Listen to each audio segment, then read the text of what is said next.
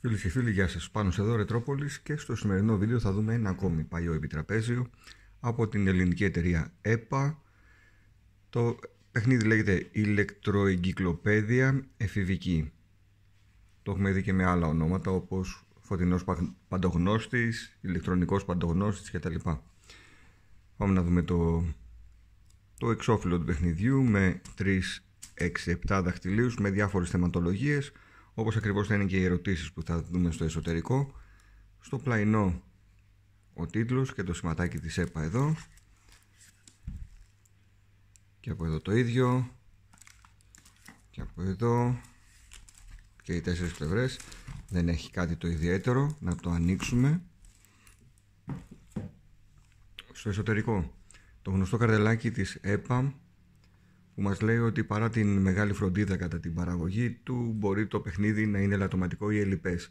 Δεν έχετε παρά να ταχυδρομήσετε αυτό το απόκομμα στα παιχνίδια ΕΠΑ, Θέρμη Θεσσαλονίκη, όνομα παιχνιδιού, συγκεκριμένο ελάττωμα, το όνομά σας στην οδό και την πόλη και η εγγύηση περιορίζεται στην αντικατάσταση των εξαρτημάτων που λείπουν ή είναι ελαττωματικά.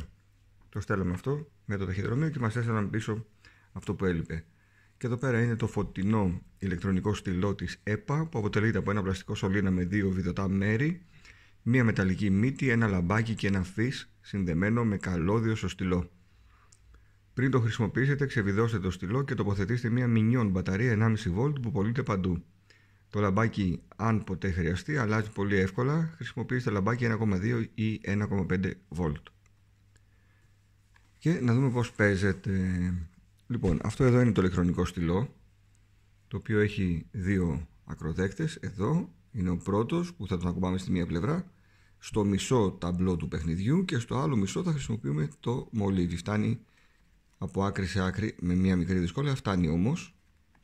Ωραία. Και πάμε να δούμε πώς παίζεται.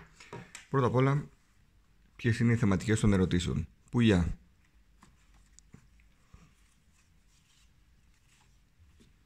Διάφορα αεροπλάνα. Εθνολογία.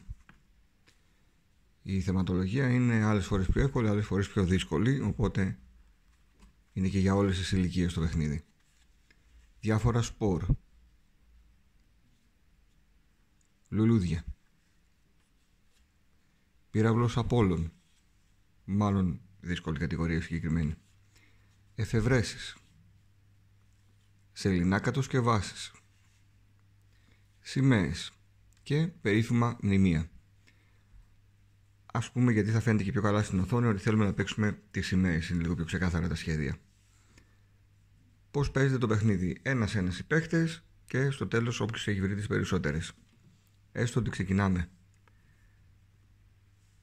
Βάζουμε τον ένα ακροδέκτη στην ελληνική σημαία και πρέπει να βρούμε σε ποια χώρα αντιστοιχεί. Άρα ψάχνουμε την Ελλάδα. Ελλάς. Αν είναι σωστό, ανάβει το λαμπάκι. Αν το έβαζε στην Ιταλία, δεν ανάβει. Στη Δανία, δεν ανάβει. Ωραία. Άρα έχω έναν πόντο. Συνεχίζω το παιχνίδι. Πάμε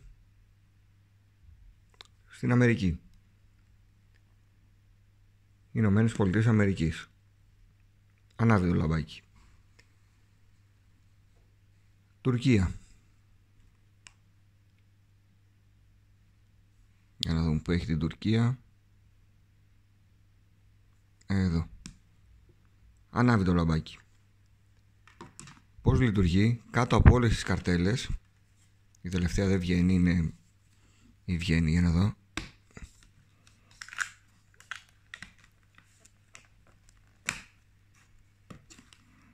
Όχι, είναι σαν κολλημένη.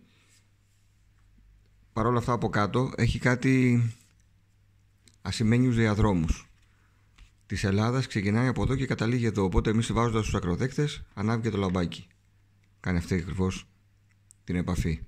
Σκεφτείτε το όλο από κάτω, συγγνώμη, σκεφτείτε το όλο από κάτω ότι έχει τέτοιες διαδρομές. Αυτός που θα βρει τις περισσότερες σωστές απαντήσεις μέχρι να ολοκληρωθούν όλες τις σημαίες είναι και ο νικητής. Ένα πολύ απλό επιτραπέζιο, αντιστοίχηση είναι ουσιαστικά, αλλά πολύ έξυπνος ο τρόπος που σκέφτηκαν τότε να το δημιουργήσουν. Κυκλοφορεί από διάφορες εταιρείες με διάφορα ονόματα όπως προείπα και μπορείς να περάσεις ευχάριστα το χρόνο σου ειδικά για μικρές ηλικίες σας έχω δείξει, υπάρχει στο κανάλι, αν θυμάμαι καλά και με τους ήρωες της Disney, με τον Mickey Mouse, κάτι αντίστοιχο, αλλά και τον παλιό φωτεινό παντογνώστη που τον είχα βρει στο εξοχικό σπίτι. Θα προσπαθήσω να τον ξαναεντοπίσω τώρα το καλοκαίρι και να κάνουμε ένα νεότερο βίντεο που θα το δείχνουμε και εκείνο σε πλήρη λειτουργία. Εδώ είχαμε μια περίπτωση που είχε αρκετά θέματα με υγρασία στο κουτί. Φαίνεται και εδώ.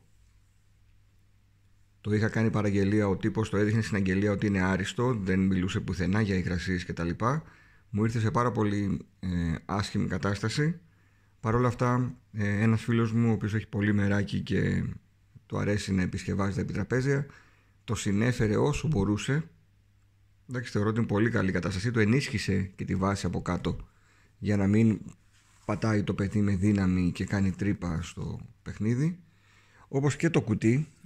Εδώ πέρα ήταν πάρα πολύ χάλια. Όλο αυτό σκεφτείτε ότι ήταν πατημένο, γεμάτο υγρασία. Κατάφερε και το ε, έχει συνεφέρει. Οπότε να ξέρετε ότι όλα γίνονται αρκεί να υπάρχει αγάπη για το επιτραπέζιο παιχνίδι και μεράκι. Και λίγος ελεύθερος χρόνος. Αυτή ήταν η ηλεκτροεγκυκλοπαίδεια εφηβική της ΕΠΑ. Μέχρι το επόμενο βίντεο που θα δούμε άλλο επιτραπέζιο, να περνάτε καλά.